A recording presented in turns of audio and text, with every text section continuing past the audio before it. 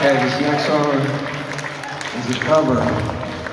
It was, it was written in 1972 about Elon Musk, Jeff Bezos, and uh, Mark Zuckerberg, and uh, some other billionaires whose names I can't recall. They're all babies.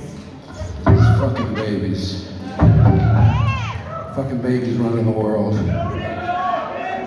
Here we go, Davis.